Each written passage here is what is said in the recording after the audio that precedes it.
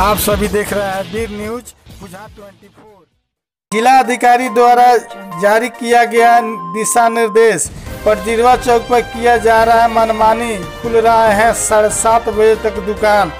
बता दें कि बहरिया थाना क्षेत्र पटजिरवा चौक पर लॉकडाउन के दिशा निर्देश का पालन नहीं किया जा रहा है। इसमें प्रशासन के रहते हुए भी कोई दुकान बंद नहीं किया जा रहा है। छः बजे दुकान बंद करना था, लेकिन लोगों द्वारा साढ़े सात बजे तक दुकान चलाया जा रहा है।